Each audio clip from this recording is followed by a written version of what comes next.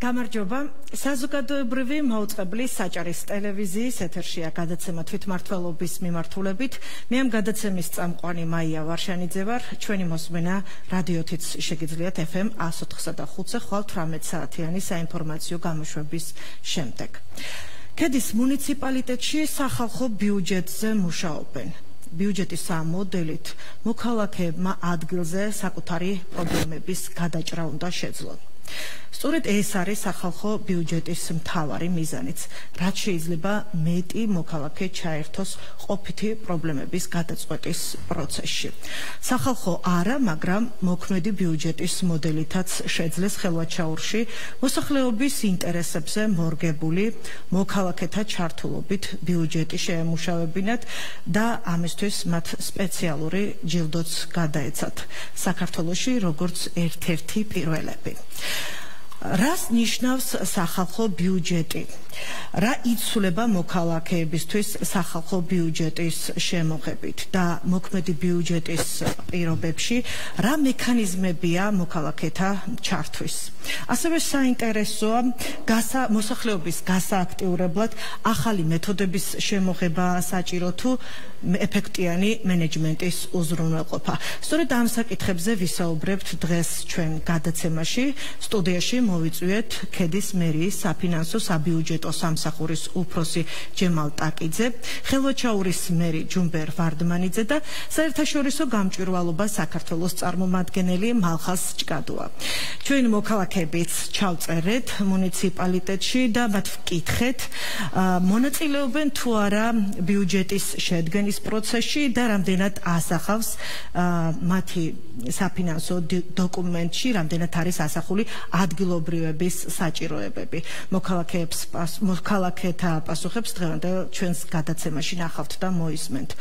რატომ არ აკეთებენ მუნიციპალიტეტების უმრავლესობა სახალხო ანუ სამოქალაქო ბიუჯეტზე არჩევანს? ამ და სხვა მნიშვნელოვან საკითხებზე ასლან ჭანიძე ჩავწერეთ თავისუფალ ჟურნალისტთა სახლის ხელ ხელმძღვანელი სხვა არასამთავრობო ორგანიზაციებთან ერთად მუნიციპალიტეტებში სახალხო ბიუჯეტის, ანუ სამოქალაქო ბიუჯეტის დანერგვის საკითხებზე მუშაობს. ახლა კი სტუმრებს დაუბრუნდები და პირველი კითხვით ბატონო ჯემალ თქვენ მოგმართავთ. კედის მუნიციპალიტეტში თქვენ დაიწყეთ სახალხო ბიუჯეტზე პროექტზე მუშაობა უკვე კარგა ხანია რა იყო მთავარი მიზანი და პირველ რიგში ჩვენს რადიომსმენელს და მაყურებელს აუხსნათ რას ნიშნავს სახალხო ბიუჯეტი? მოგესალმებით მოგესალმებით თქვენს რადიოს და ტელევიზიის მაყურებლებს სახალხო ბიუჯეტის სახალხო ბიუჯეტში მოხალხეთა ჩართულობის კუთხით ჩვენ მუნიციპალიტეტმა 2019 წლიდან დაიწყო მუშაობა. გერმანიის საერთაშორისო თანამშრომლობის საზოგადოება GIZ-თან ერთად და საქართველოს ფინანსთა და რეგიონულ განვითარების სამინისტროებთან ერთად ჩვენ ვიყავით იმ ხუთ მუნიციპალიტეტში, საკუთარ მუნიციპალიტეტებში, რომლებმაც დაიწყეთ პირველი ნაბიჯები სახალხო ბიუჯეტში. სახალხო ბიუჯეტი ეს პროგრამ პროგრამა სამართლებაში, სახალხო ბიუჯეტით მოსახლეობას უფრო მეტი საშუალება ექნება, რომ აი პირდაპირ მონაწილეობა მიიღონ ბიუჯეტის დაგეგმარების პროცესში.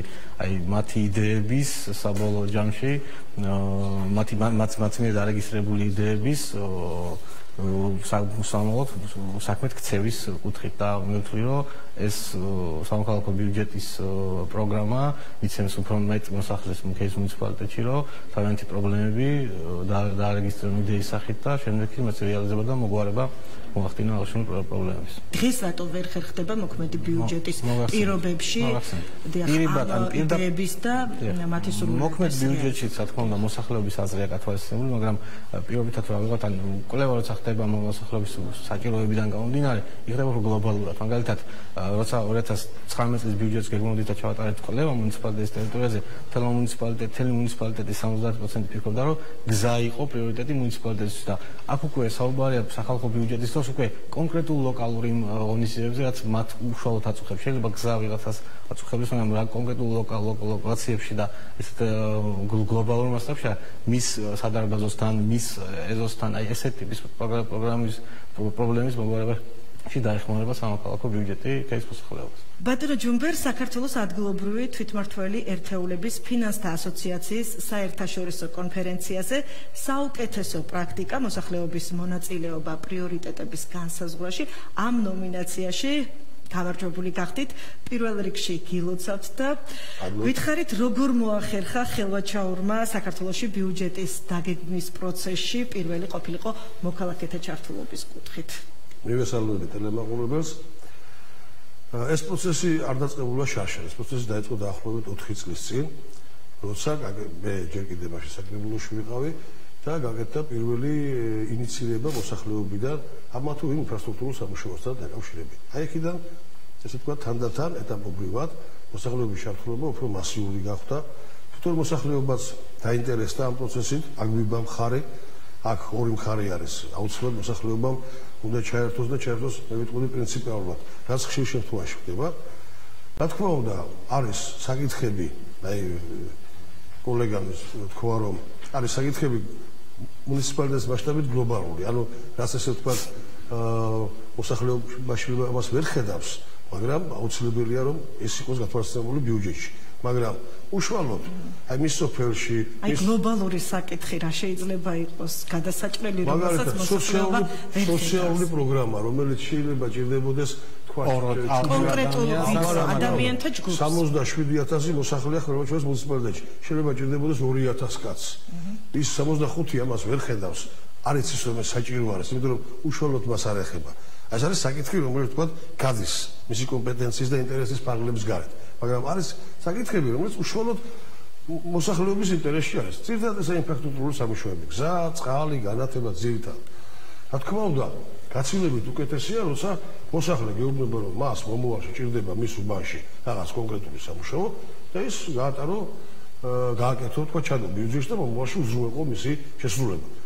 აი ესა ჩართულობა მოსახლეობის ბიუჯეტის დაგეგმარებაში და იმედია რომ მივახციეთ აგერ ჯილდომას შეიძლება ითქვას რომ რაღაც განსაკუთრებული მექანიზმები არ იყო გამოყენებული თქვენ შემთხვევაში.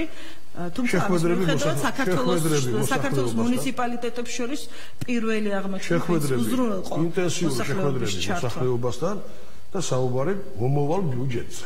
აი თქვა ეს შეხვედრები 2017 18 17 წელში ინტენსიური შეხვედრები უკვე 18 წელში იყო ინტენსიური შეხვედრები არა მარტო ადგილზე მასთან, არამედ შემდეგ იყო დიდი შეკრებები უშუალოდ მუნიციპალიტეტში, ანუ საერთო დარბაზში და შემდეგ, სადაც გამოიკვეთა ის ინფრასტრუქტურული სამუშაოები, რომელიც გადაუდებელი იყო ამა თუ იმ სოფელში, ამა სოფლის ამა თუ იმ უბანში. ბატონო მალხას, ჩვენ ერთის მხრივ საუბრობთ, რომ სახალხო ბიუჯეტი აუცილებელია მოსახლეობის ბიუჯეტის პროცესში, მოსახლეობის ჩართვის უზრუნველსაყოფად, თუმცა მეორე მხრივ გვაქვს აი ესეთი მაგალითიც, რომ ბიუჯეტის დაგეგმვის მოქმედი წესითაც შესაძლებელია მოქალაქეები იყვნენ აქტიური და ჩაერთონ პროცესში.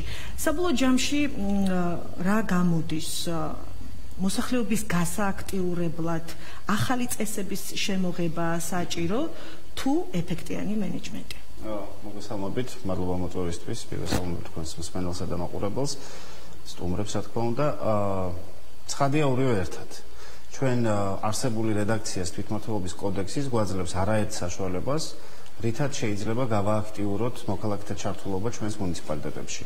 სამწუხაროდ ჩვენი კვლევებიც ადასტურებს იმას, რომ აი ეს მექანიზმები არ არის თანაბრად გამოყენებული და აქტიურად გამოყენებული მუნიციპალიტეტების მხრიდან. სადღაც არის მეტი პეტიცია, სადღაც ნაკლები სოფლის მხარდაჭერის პროგრამის დაბრუნება, განაპირობა ის, რომ სოფლის კრებები გამართა აქტიურად 2019 წელს. სამწუხაროდ წინა წლებში, როცა არ არ მოქმედებდა დროებით შეწყვეტილი იყო ამ პროგრამის მოქმედება, ამან განაპირობა ის, რომ პრაქტიკულად საქმეები აღარ ტარდებოდა.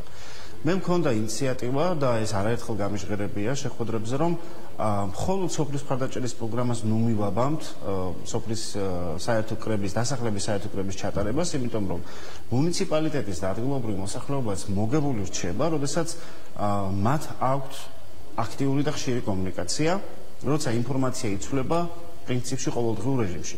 წარმოგიდგენიათ, რომ საუბარი გვაქვს აჭარის რეგიონზე, სადაც გარდა იმისა, რომ სახელმწიფო ახორციელებს გარკვეულ პროგრამებს, თუნდაც სოფლის მეურნეობის მიმართულებით, ადგილობრივი სოფლის მეურნეობის სამინისტროს ახორციელებს ბევრ პროგრამას და შესაბამისად ბენეფიციარები ხომ და შეიჩნენ. საუბარია უზარმაზარი ინფორმაციის გაცვლაზე ადგილობრივი დონიდან, თემის რწმუნებულების დონიდან მუნიციპალიტეტამდე, ხო? შესაბამისად, აი ეს კომუნიკაცია უფრო გამართული რომ იყოს შეიძლება გაჩნდეს თქვა გარკვეული დათქმა ადგილობრივი საკრებულოს მხრიდან რომ ეს სოფლის კრებების ჩატარება მინიმუმ იყოს სამჯერ გათვალისწინებული თქვა საბიუჯეტო წლის განმავლობაში. ეს მოგცემდა საშუალებას იმისას რომ მოქალაქეები დაინახავდნენ რომ მუნიციპალიტეტს მათი აზრი აინტერესებს და პერიოდულობა ამის გარანტიას მოგცემდა მეორე თვითონ საჭიროებების დოკუმენტიც ყოველი ოქმის შემდგომ შედგებოდა და შესაბამისად მუნიციპალიტეტს მისი რესურსიდან გამომდინარე ექნებოდა საშუალება რომ ასე ვთქვათ, ყოფილიყო უფრო ახლოს მოსახლეობასთან და მესამე ბუნებრივია ჩვენი ტიპის დამკვირვებელი ორგანიზაციებისთვის ეს იქნებოდა ძალიან კარგი მაგალითი იმისა, რომ გვეთქვა, რომ აი რეკომენდაცია არის გათვალისწინებული და ეს მუშაობს ამგვარად. ანუ რა გამოვიდა, რომ ერთი მხრივ თუ არსებულ წეში ოდნავ ცვლილება შევიტანთ, ისევ და ისევ ჩვენი მიზნების სასარგებლოდ, მეორე თუ დავაინტერესებთ უშუალოდ მოსახლეობას და მეწმუნეთ მაინც ლომისწვილი ამ შემთხვევაში მოდის მუნიციპალიტეტზე რომ მან დაინტერესოს ადგილობრივი მოსახლეობა და მესამე ამ პროცესის გამჭვირვალობის და გამართულობის თვალსაზრისით ეს სტრუქტურა იყოს აგებული. აი ეს ორი აი ბატონო მალხაზი, როდესაც საუბრობთ რომ მოქალაქეები უნდა დავაინტერესოთ, შეიძლება ითქვას ამ შემთხვევაში სახალხო ანუ სამოქალაქო ბიუჯეტი არის სწორედ ის იარაღი, რითაც დავუშვათ მოქალაქეებს მოყვანთ კრებაზე. და რატომ არ არის საინტერესო მოქმედი წესით ბიუჯეტის დაგეგმვის პროცესში მოსახლეობის ინტერესის გაზრდა რატო ვერ ხერხდება თქვენი აზრით? არის ამის პროცესი ამ შემთხვევაში ამ შემთხვევაში ხომ სწორედ მათი პრობლემების გადაჭრაზე არის მსჯელობა. ამ შემთხვევაში ხომ პრიორიტეტებზე ხდება მსჯელობა. პროცედურულად არაფერი იცვლება თვითმმართველობის კოდექსში არის დათქმა, როდის უნდა იყოს წარდგენილი ბიუჯეტის პროექტი, განსახილველად შემდგომ უნდა დაუბრუნდეს შენიშვნებით, ანუ სექტემბრიდან ნოემბრის ჩახვით არის აქტიური პროცესი. როდესაც ეს დოკუმენტი უკვე შედგენილია, მისი პრიორიტეტები განსაზღვრულია და შესაბამისად ჩვენ პროცედურულად მოქალაქეთა ჩართულობის აი ამ ტიპის მექანიზმებს როცა ვაჩენთ ადგილზე, ხო, როგორც თქვა, ხელოჩაურის მუნიციპალიტეტს ასე წარმატებით გამოუყენებია, ხო? პროცედურულად არაფერი არ იცვლება. წინარე სამუშაოს მოცულობა იზრდება და ინტენსივობა შეხვედრების, რომელიც საშუალებას გვაძლევს, რომ თქვა, აი ზუსტად მაჯისცემაზე კონდეს ხელი მოსახლეობის. ჩვენი ორგანიზაციის სამოქალაქო საბჭოებიც პრინციპში ეს არის დამატებითი ბერკეტი ადგილობრივი თვითმმართველობისთვის პირველ რიგში რომ უკეთ იცოდეს ადგილობრივი მოსახლეობის საჭიროება. ხო ჩვენი ამ ეს ადამიანები, რომლებიც სხვადასხვა დასახლებაში გარკვეული ავტორიტეტით სარგებლობენ, მათ აქვთ იმისი მანდატი დობის მოსახლეობისგან, რომ აი კი ბატონო, ჩვენ ეს პრობლემა თავასახელდეთ, მოდით ახლა შუახევი იქნება ქედა თუ ხულო, ვემუშაოთ მუნიციპალიტეტს. ახლა, როცა მუნიციპალიტეტები გამოთქვამენ სურვილს და მათ ძალიან კარგად დაინახეს, რომ აი ასეთი ტიპის მუშაობას მოაქვს ძალიან კარგი შედეგი, როდესაც მოქალაქეების კმაყოფილები არიან, როცა მათაც აქვთ, ასე ვთქვათ, სრული გარანტია იმისა, რომ გადაწყვეტილების მიღებამდე მოქალაქეების ჩართვა იწევს ამ ადამიანების ძალიან კარგ განწყობას, დამოკიდებულებას და სხვა თუ არაფერი. ეს პრაგმატული პოლიტიკური გათხრები ძალიან სწორია. ნაცვლად იმისა, რომ ჩავაყენოთ მოქალაქეები პოსტფაქტუმ, რომ აი აქ ახლა ამას ვაკეთებთ, მაშინ უცე შეიძლება მართლა საჭიროება არ იყოს. მეორე კუთხით, მე ვეთანხმები ბატონოს იმაში, რომ 67000-იან მუნიციპალიტეტში შეიძლება რაღაცა ტიპის საჭიროება ედგას 1500 ადამიანს. დანარჩენ დარჩენილმა ადამიანებმა არ გაამახვილონ ამაზე ყურადღება. ანუ ჩვენ პრიორიტეტები ამ ნაწილშიც უნდა იყოს. ჩვენ ის გარანტია რომ ჩვენ ვერ ჩავატარებთ ხო პლებისციტს ყველა ეტაპზე წარმოუდგენლად დიდ ხარჯებთან არის დაკავშირებული, მაგრამ თემის რწმუნებული მაჟორიტარი დეპუტატი, მათი აპარატი არის სწორედ იმისთვის შექმნილი, იმიტომ ვუხდი ჩვენ მათ ფულს, რომ ამ ადამიანებს სწორად მოიტანონ ამბავი. პარტიული მიკერძოების გარეშე. იმიტომ რომ თვითმმართველობა არის ყველასი შესაბამისად რაც უფრო მეტი პრობლემა მოვა, მე მესმის მეორე საკითხიც მეგობრებო, წარმოუდგენელია თუნდაც თვითმმართველობის ადმინისტრაციის ერთი წრის ფარგლებში ყველა პრობლემა მოგვარდეს. ჩვენს ყველა გადაცემაში რა თქმა უნდა მონაწილეობენ მოქალაქეები მათ ამჯერად ვკითხეთ თავიანთ მუნიციპალიტეტის ბიუჯეტის დაგეგმვის პროცესში რამდენად იყვნენ ჩართულები და რამდენად არის ასახული ბიუჯეტში მათი საჭიროებები. ჩვენ შეგვიძლია ქედის მუნიციპალიტეტის მცხოვრებლებს მოусმინოთ და ამის შემდეგ განვაგრძოთ საუბარი. ქონდა შეხვედრა რაღაც რაღაცაზე ვისაუბრო შეკითხებიც ქონდათ მოსახლეობას. გვეკითხებიან მაგრამ მე არ მცალია რომ მევიდი და არაფერში ამონაწილეა შეფერჩო რა გაკეთდეს შეფერჩნა მოვდნა იქ მე იქნება გვიკეთვით რა ვიცი მე ბებია რა გაკეთდეს მაგრამ ჩვენ ვინ გკითხავთ რა შეკუთნის კანონის მიხედვით ყველაფერი უნდა გაკეთდეს არაფერში ამონაწილეობა რა ვერ ვერ ყვევი არ ვიცი არც მონაწილეობა. სოფელში კითხავ რა რა გეჭის რა გეჭის ამის საქმეზე ათმო უკეთესი და კაი კაი ჩვენ მოусმინეთ მოქალაქეებს, მათი ნაწილი ბიუჯეტის დაგეგმვის პროცესში მონაწილეობს, თუმცა ძალიან ბევრია ისეთი, ვისაც არ აქვს, არ არის, ვინც არ არის ჩართული ბიუჯეტის დაგეგმვის პროცესში. ბატონო ჯემალ, გერმანიის საერთაშორისო თანამშრომლობის მხარდაჭერით სამოქალაქო ბიუჯეტის დაგეგმვის უცხოურ გამოცდილებას გაეცანით. განსაზღვრული გაქვთ უკვე რა კრიტერიუმები ამოქმედდება ქედაში სახალხო ბიუჯეტი. ეხ.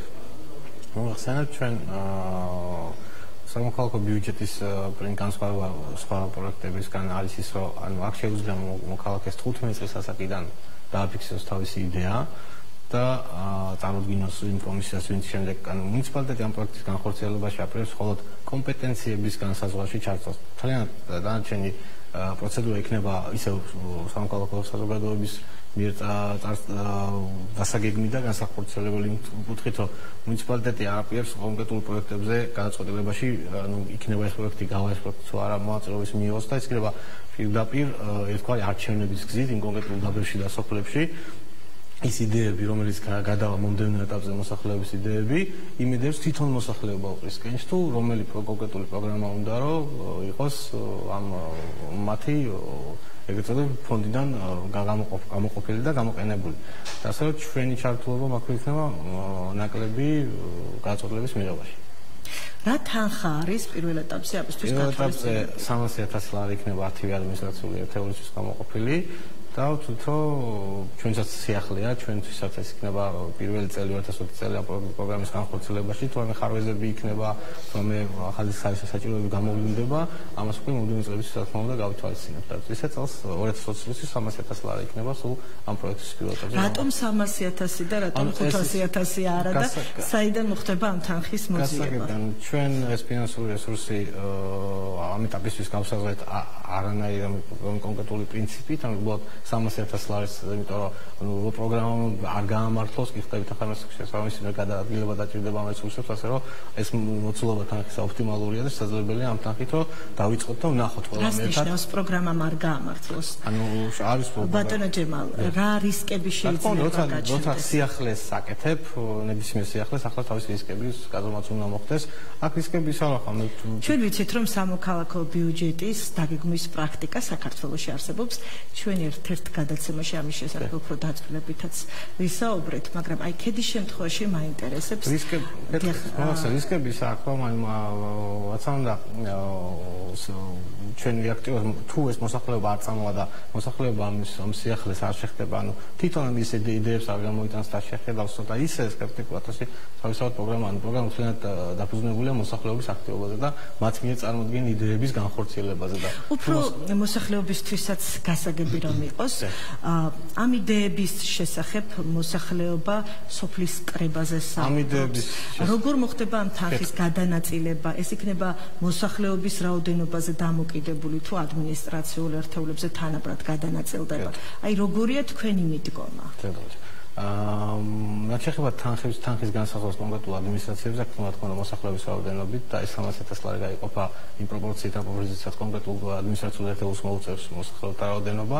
ხო, რაც შეეხება თვითონ პროცედურას, თუ რანაირად იქნება აღნიშნული პროგრამა განხორციელებული, ანუ მაგალითისთვის მე აქ ჩვენ ამ ამ ხარჯებში არის გათვალისწინებული ისო მოახდენთ ბევრ საინფორმაციო პოლიტიკის წარმოებას, მათ მოსახლეობის ინფორმირება მოხდეს როგორც სოციალური ექსელების მეშვეობით მედიის ისე პირდაპირ კონტაქტის მოსახლეობასთან ის რომ მე ყოველ წლიურად წელიწადში ორჯერ ხდება მოსახლეობასთან ამ შეხვედრებზეც და სხვა ყველა იმ ინსტრუმენტს რომელიც გაგვაჩნია ჩვენ გამოვიყენებთ რათა მოსახლეობა ჯერ მოსახლეობას აუხსნათ თუ რა პროგრამასთან და რა პროექტთან გვაქვს საქმე ამის შემდეგ მოხდება მოსახლეობისგან იდეების დარეგისტრება როგორც ელექტრონული ფორმით ასე ბეჭდვითი ფორმით შესაძლებელი იქნება ის რომ მუნიციპალიტეტში ყოველდღე სამწუხაროდ არის ინტერნეტთან წვდომა და ასე რომ იქნება საშუალება მოსახლეობამ განცხადების ფორმითაც შეადგინოს წარმოადგინოს მერიაში იდეა.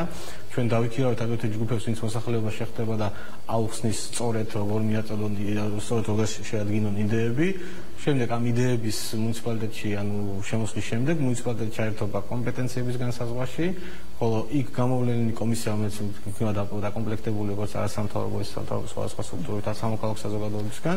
ანუ ის პირობითად მაგალითად მახუნცეს ადმინისტრაციული ერთეულიდან შერჩეული ხუთი იდეა რომელიც იქნება იმ კომისიას კომისიას გავლების ხუთი იდის ხუთი იდეა გავა შემდეგ ერთგვარ არჩევნებზე რომელიც იქნება გაგრძელდება რამოდენიმე ხანი მაგალითად კონკრეტულ სოფლების საკუთარ დაბების მიხედვით იქნება არჩევნები ანუ კონკრეტულ იმის მოქალაქე ვინც კვიდრი მახუნცეთის კვიდრი ვინც იქნება მიცემს ხმას იმ ხუთი ხუთიდან რომელი პროექტს მოეწონება იმ პროექტს მიცემს ხოლმე გამარჯვებულ პროექტს უკვე მუნიციპალიტეტი რეალიზებას ანუ გავგავკეთებს ბატონო ჯუმბერ მოქალაქეებს რამდენად აქვთ გააზრებული ის რომ ბიუჯეტირების პროცესში თავად უნდა იყვნენ აქტიურები და ჩართული? ძირითადად ეს არის ახლა ინფრასტრუქტურული მებაიც რა თქმა უნდა არის აქტიურობა სოციალური და ჯანდაცვის კუთხითაც მაგრამ ეს უკვე გარდუვალი აუცილებლობა და გამომდინარე ეთქობს ადამიანი და ეს მე ვერ ვიტყვი ჩართულობა ეს უფრო მოთხოვნა მისი აი ამ ასე ვთქვათ პრობლემის დასაძლევად. რა თქმა უნდა, აი მაგალითად ვიტყვი ასე ასეთ ფაქტს. აა სოფლის მეურნეობის სამინისტრო წლების განმავლობაში არიგებდა სათბურებს. ეხლა აი შარშა თუ შარშაწინ დაიწყო 100 200 300 კვადრატიანი სათბურების მოსახლეობის 80% არის თანადაფინანსებით გადაცემა.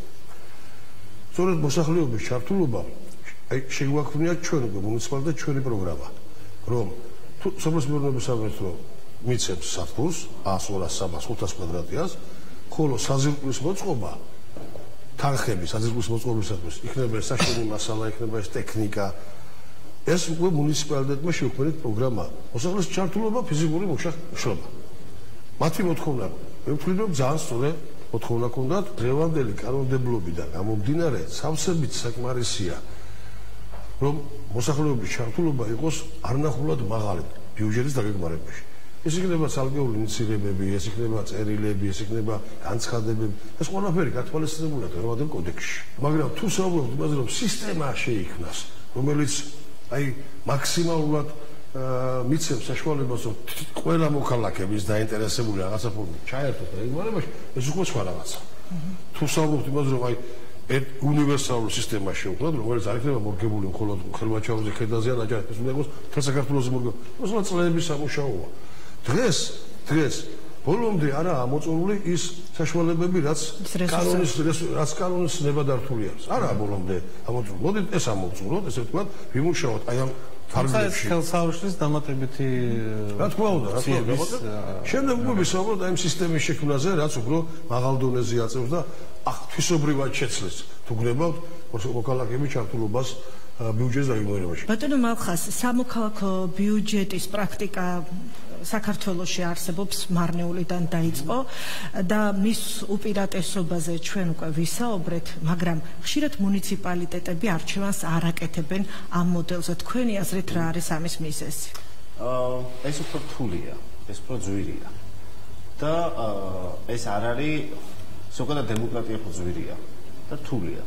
შესაბამისად, ეხა 10 ადმინისტრაციული ერთეული ახსენა აა კედის მერი კედის მუნიციპალიტეტში ამ 10 ადმინისტრაციულ ერთეულში რამდენი სოფელია? 72. 72 სოფელში დასახლების საერთო კრების ორგანიზება არის ტიტანური შრომა. ეს არის საკმაოდ რთულად ადმინისტრირებადი პროცესი, ამას სჭირდება კვალიფიციური კვალიფიციური მომზადება და რა თქმა უნდა ძალიან მაღალ დონეზე კომუნიკაციის უნარები მოსახლეობასთან. ქვეყანაში სადაც მძიმე სოციალურ-ეკონომიკური ფონია და ამას ემატება უამრავი სხვა გამოწვევა პოლიტიკურ ნაწილში თუ შიდა შეუთანხმებლობის თუ ასე შემდეგ და სადაც ძალიან იზრდება სამწუხარო ტექნისტური დამოკიდებულება ზოგადად მართლობის კუთხით, იმიტომ რომ ადამიანები ხედავ თქვა რომ რაღაცა შეიძლება და ეს უკეთესად უკეთესი მოხდარიყო ამ უკეთესად განვითარებულიყო ესა თუ ის მოვლენა ხო მათთვის ასარკებლად ამ დროს თვითმართველობებს აქვს სურვილი რომ პირდაპირ კომუნიკაციაზე გავიდნენ და გადიან კიდევაც და ამ პროცესში ყველაფერი მაინც დამყარებული არის ანგარიშვალდებულებაზე რომელიც მოდის ნდობიდან თუ მოქალაქე არ ენდობა თვითმართველობას და მას აქვს ნიჰილისტური დამოკიდებულება ახლა მე რაც უნდა ვთქვა მაინც იმას გააკეთებს რაცაც გადაწყვეტს მუნიციპალიტეტის მერიან საკრებულო ეს და ეს გუპავს პროცესს. ყველა თავ თავისი გზა აირჩია ჩართულობის ამბებში.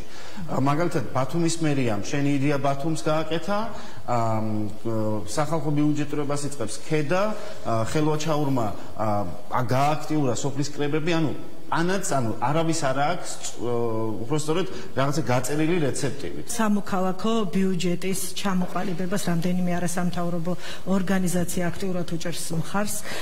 მათ შორის არის თავისუფალ ჟურნალისტთა სახლი ასლან ჭანიძე იმ რეცეპტების შესახებ მოგვიყვება, რომელიც სახალხო ბიუჯეტის დანერგვისთვის არის საჭირო და გვეტყვის იმის შესახებაც, რატომ არ ირჩევენ ხშირად მუნიციპალიტეტები სამოქალაქო ბიუჯეტის პრაქტიკას.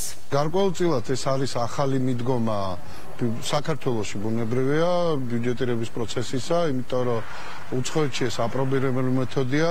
აა ქედაში ეს იქნება პირველი პრეცედენტი აჭარის მუნიციპალიტეტების მიმართებაში რო ვისაუბროთ, ხოლო საქართველოსში უკვე 7 მუნიციპალიტეტში, მაგალითად მარნეული, ზუგდიდი, გორი, ოზურგეთი, ჭალენჯიხა და სხვა მუნიციპალიტეტებში ეს ხორციელდება.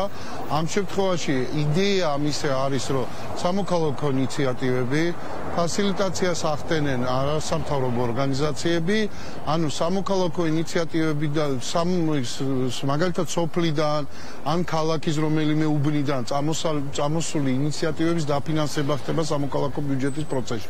ანუ გარკვეული თანხის გამოყოფა ხდება და მხოლოდ და მხოლოდ იხარჯება იმ ინიციატივებზე, რომელიც მოქალაქეებიდან წამოსული. დღესდღეობით ჩვენ გვაქვს თქვა ინფრასტრუქტურაში ჩადებული გარკვეული თანხები, მაგრამ ეს არ არის სოფლის დახმარების პროგრამა, რასაც გულისხმობთ, ხო? აქ არის მაგალითად ბიუჯეტში ჩადებული თანხები, როდესაც მუნიციპალიტეტი თქვა გარკვეულწილად წყვეტს აი პრიორიტეტებს და იმის მიხედვით. ბუნებრივია რაღაცა დოზით ჩართულია ამ პროცესში მოქალაქეები, მაგრამ სამოქალაქო ამ შემთხვევაში სახალხო ბიუჯეტის პროცესში ინიციატივაც კი მოდის მოქალაქეებიდან, მოქალაქეები ჩართული არიან პროექტის მომზადებაში და შემდეგ უკვე მერიას ფორმალური მხარე ენიჭება რა გაგებით ანუ არის თუ არა ეს მერიის კომპეტენცია? იმიტომ შესაძლებელია ისეთი ინიციატივა ინიციატივა წამოვიდეს რომელიც მერიის კომპეტენცია არ იყოს ხო? ანუ თვითმმართველობის კოდექსიდან გამომდინარე სხვა შემთხვევაში აუცილებლად ინიციატივა უნდა იყოს მოქალაქეებიდან წამოსული. ანუ მათი მოსაზრებები მათი გადაწყვეტილება უნდა იყოს და მათ უნდა მოამზადონ პროექტი გამოცდილება ჭირდება პირველი ამას ჭირდება გარკვეული ცოდნა იმიტომ ეს არ არის ესეთი ძალიან მარტივი პროცესი. ხოლმე ვამბობ, რომ აი გამოიყო 600.000, ხო?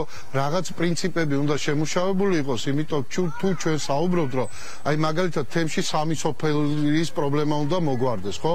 ანუ გაძაწყვეტილების მიღების დროს უმრავლესობით უნდა ხდებოდეს, ხო? ერთ-ერთ შეხვედრაში მაგალითად რომელიც ჩავატარეთ სოლიდარობის ფონდის ერთად, პოლონური ორგანიზაციის ერთად, ხო? იქ ითქვა პირდაპირ პატარა სოფლის წარმომადგენლებს, რომ ჩვენ შეიძლება დავიჭაგროთ, იმიტომ რომ ამ რამდენი ოჯახი არა. ანუ სხვადასხვა მუნიციპალიტეტში სხვადასხვა კრიტერიუმები უნდა იყოს შემუშავებული და ამას ჭირდება ცოდნა. დავბრუნდით სტუდიაში და სტუმრებთან განვაგრძობ საუბარს ბატონო ჯემალ სამოქალაქო ბიუჯეტის ამ პროექტის მთავარი ღირებულება არის ის, რომ გაწეულ სამუშაოებს შემდგომ მონიტორინგს უწევს თავად მოსახლეობა. აი ამ ნაწილში რამდენად არის პროექტში გაწერილი ის რისკები, რომელიც შეიძლება გაჩნდეს და რა სახით მოხდება მოსახლეობის კონტროლი შესრულებულ სამუშაოებზე? ჩვენ მუნიციპალიტეტი ერთობა მხოლოდ შესრულებაში, ანუ ამ პროექტის განხორციელებაში პროექტზე როგორც გამარჯვებული იდეას რა თქმა უნდა როგორც სხვა დანარჩენ სახელმწიფო პროექტებს სახელმწიფო შესწავლების კანონიდან გამომდინარე მოხდება მასე შესაძლოა ტენდერი გამოცხადება და გამარჯვებული კომპანია უზრუნველყოფს ამ კონკრეტული შენებობის ან ობიექტი იქნება ხიდი იქნება თუ ეს გზა იქნება ის გაკეთებას ხოლო მუნიციპალიტეტი მას როგორც დღეს სხვა პროექტებს ღებულს მიიღებს უკვე მოსახლეობასთან ერთად. და იმ შენიშვნებს და რეკომენდაციებს თუ მოსახლეობის იმ კონკრეტული პროექტის ხარისხთან დაკავშირებით ექნება იმას რა თქმა უნდა მუნიციპალიტეტი გაითვალისწინებს აღნიშნული ტიპის ხარვებს. 10 ადმინისტრაციული ერთეულია დღეისათვის ქედის მუნიციპალიტეტში და თუ კი თანხას გავყოფთ დაახლოებით ერთი მუნიციპალიტეტისთვის გათვალისწინებულია 30000 საშუალოდ მასე მასე გამოწვევა მოსახლეობის რაოდენობა ცოტა სხვადასხვა და ეგ 1000 და 2000 ლარი შეიძლება თქვენ რომელ სოფელში ცხოვრობთ? მე დაბაქიაში ცხოვრობ. აა თქვენს ირგვლივ დასახლებულ პუნქტში თუ კი ექნებათ იდეები ცალკეული პროექტების განხორციელების არის რაღაც შაბლონი დადგენილი თუ რა იდეა შეიძლება იყოს სპექტრი არის ძალიან ფართო არა უბრალოდ უნდა იყოს მუნიციპალური კომპეტენცია ანუ არ შეიძლება ცენტრალური გზის რეაბილიტაციის მოთხოვნა, იმიტომ რომ ეს ფიზიკურად არ წარმოადგენს მუნიციპალურ კომპეტენციას. თუმცა არის იდეები, რომელიც შეიძლება იყოს მაღალ ბიუჯეტიანი. ამ შემთხვევაში ლიმიტიც განსაზღვრულია? დიახ, ლიმიტი განსაზღვრულია, მაგრამ ჩვენ ვფიქრობთ, იმდენად წელს არ აღვყოთ 2021 წლიდან, რომ თუ იდეა იქნება მაღალ ბიუჯეტიანი და ის იდეა მოიწონოს საკმაოდ დიდ მოწონებას მოებს, ასე შესაძლებელია იმაზე ფიქრი, რომ დამატებითი რესურსების მოძიება მოხდეს სხვა დანარჩენი კაპიტალური მუნიციპალური ხარჯებიდან მუნიციპალიტეტის ბიუჯეტიდან. მე მესმის რომ კომისია საბოლოო ჯამში განსაზღვრავს თუ რომელი იდეა იქნება გამარჯვებული და უფრო სწორად უკვე დასახელებული, გამოყოფილი და შემდგომ ეს მოხდება საყოველთაო არჩევნების გზით. მხარდაჭერა. მისმის გზით. აა პრიორიტეტი არის განსაზღვრული, რას შეიძლება მუნიციპალიტეტმა მიანიჭოს ამ შემთხვევაში პრიორიტეტი. არა, არა, ანუ აქ შეიძლება ეს იყოს სამოქალაქო აქტივობა, იყოს მხარდაჭერა მხარდაჭერილი მუნიციპალიტეტის ხრიდან. ბატონო ჯუმბერ, სახალხო ბიუჯეტის, იგივე სამოქალაქო ბიუჯეტის უპირატესობაზე საუბრობენ ექსპერტები. თუმცა როგორც ჩანს, ხელოჩაურში ჯერჯერობით ამ მიმართულებით თქვენ არ გაქვთ გეგმები. რატომ არ აკეთებენ არჩევანს სახალხო ბიუჯეტზე?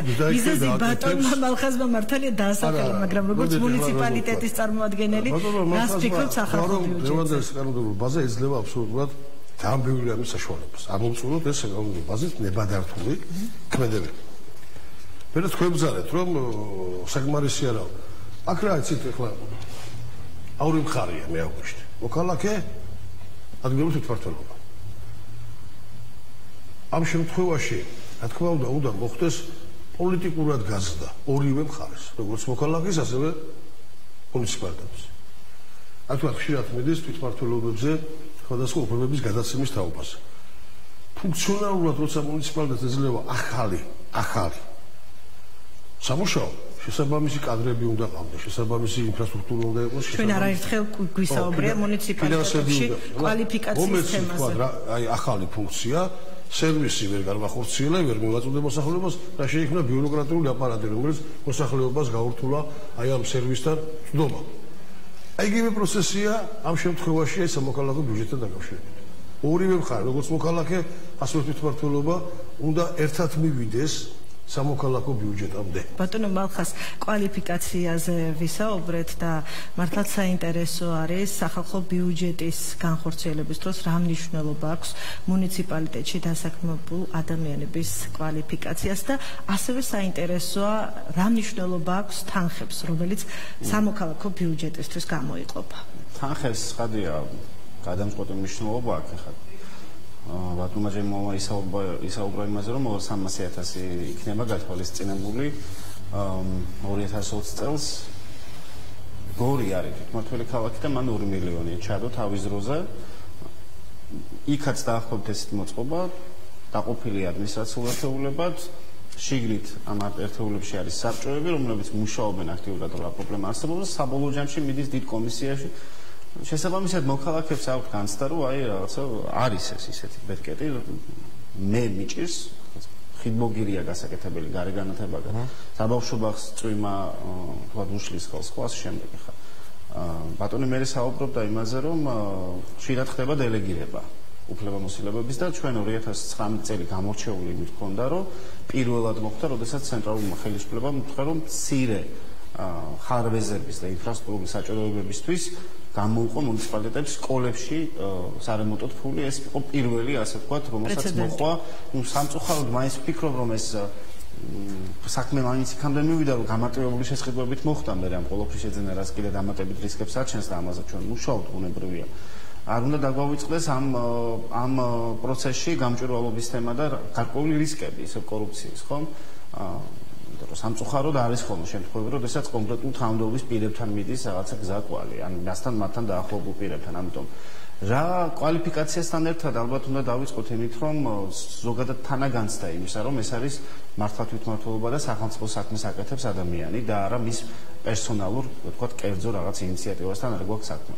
რა თქმა უნდა, თანხა, რომელიც უნდა იყოს ახლა ქედისთვის 100.000 ლარი, ცოტაა თუ ნაკლები, ამაზე მარტივად შეგვიძლია უპასუხოთ იმ მოცემულობიდან გამომდინარე რა ბიუჯეტის აქვს სრულიად ამ მუნიციპალიტეტს ხო? არ არის ახლა დიდი ბიუჯეტი არის მუნიციპალიტეტის სამწუხაროდ არ არის ისეთი ბიზნეს ეკონომიკური საქმიანობა რომელიც დამატებით შემოსავალს მოუტანდა ქედას და სამწუხაროა რომ ასეთი დიდარი მუნიციპალიტეტი ბუნებრივი რესურსებით თუ სხვა რესურსებით პირველ რიგში ადამიანური რესურსებით თქვა რაღაც მწირე ბიუჯეტით ცდილობს რომ ეს ყველაფერი დაიწყოს ისევ და ისევ გამომდინარე იქიდან რომ მას არ აქვს ხელმისაწვდომობა მეტ რესურსზე. ბათუმიც კი რომელსაც აქ დაახლოებით 14 ჯერ მეტი ბიუჯეტი ვიდრე ქედას ბათუმაც კი დაიწყო ძალიან მცირე თანხით. ნუ გვიდება მერის ადმინისტრაცია რომ გავიზ გაზრდის ამოცულობასთან პლუს ამას ბათუმის მერი ამბობს რომ ჩვენ კაპიტალურ ხარჯებს კი არ ვამცირებთ და იმის ხარჯზე რომ გავაჩინოთ თანამონაწილეობის განცდა და პროგრამა, არამედ ცალკე დამატებით შემოსულობიდან. კი ბატონო, ხოლოდ სათამაშო ბიზნესიდან ბათუმმა 27 მილიონი მიიღო 2018 წელს და მას აქვს ამის საშუალება, მაგრამ რა ქნან ისეთმა მუნიციპალიტეტებმა, სადაც არ არის ეკონომიკური აქტივობა და ბატონო, მახას გასაგებია, რომ ამ მუნიციპალიტეტისთვის ეს ბიუჯეტი არ არის მცირე, თუ კი საერთო ბიუჯეტის მოცულობას გავითვალისწინებთ, მაგრამ როდესაც იდეებზე ვსაუბრობთ, რომელიც მომავალში უნდა დაფინანსდეს, რამდენად მნიშვნელოვანი არის, რომ ის იყოს ეფექტიანი, რაც უფრო მეტად ფინანსდება ესა თუ ის იდეა. და შესაბამისად მისი ეფექტიც არის უფრო მაღალი. თავდამაია ჩვენ ხო არ ვსაუბრობთ იმაზე რომ ბოდიშო გაწყვეტინებთ ვიცი რომ დრო მცირე და ამიტომ უცებ ჩვენ ხო არ ვსაუბრობთ იმაზე რომ ამით შეწყდება სხვა კაპიტალური პროექტები. გაინაგდება ის პროექტები გაგრძელდება, რაც მუნიციპალიტეტს გადაწყვეტილი აქვს საკუთარი კლუბის საფუძველზე თუ სხვილი საჭიროებიდან გამომდინარე, აქ არის საუბარი იმაზე, რომ აქ აი ამ შემთხვევაში არც მე ვსაუბრობ ბატონო მალხას იმის შესახებ. სრულად გადავიდა. აი ეტაპობრივად ვფიქრობ, რომ ეს თანხები გადავიდა საქართველოს ბიუჯეტში. გასაგებია. ამ შემთხვევაში ბატონო მალხას არც მე ვსაუბრობ, რომ აუცილებელი არის ამ კონკრეტული პროგრამის მაქსიმალური თანხით დაფინანსება ფინანსება, უბრალოდ მე ვსაუბრობ მოქალაქეთა ჩართულობის უზრუნველყოფის მიზნით აა პროექტი, როდესაც არის მაღალ ბიუჯეტიანი, მასში მონაწილე ადამიანების რიცხვით შეიძლება გაიზარდოს, მისი ეფექტი შეიძლება უფრო მაღალი იყოს. აი აქედან გამომდინარე, მოსახლეს გასაგებია სოფლის მხარდაჭერის პროგრამა არაერთხელ ვახსენეთ და ბატონო ჯემალ რომ განმარტოთ ფინანსების განკარგვის პრინციპი ძალიან შეიძლება აღიქვა ბერმა რომ სოფლის მხარდაჭერის პროგრამასთან არის გაიგივებული რა არის ამ პროგრამების შორის სამო სახალხო ბიუჯეტსა და სოფლის მხარდაჭერის პროგრამას შორის საერთო და განასხვავებელი. პირველი ის რომ 15 წელიწადში შეუძლიათ მიიღოთ მონაწილეობა და ეს სახალხო პროგრამას არ არ აქვს და მეორე ეს სოფლის პროგრამასაც დათქმები და შეზღუდვები. ანუ ისეთ სოფლის პროგრამაში არის რიგი ღონისძიების ის დაფინანსების უფლებაც თავშივე წერია განკარგულებაში რომ დათქვასა თუ არ შეიძლება ამ ამ ტიპის მიმართულებებზე თანხების გამოყენება. ამაშიც შეზღუდული არ არის სამხალხო ბიუჯეტი.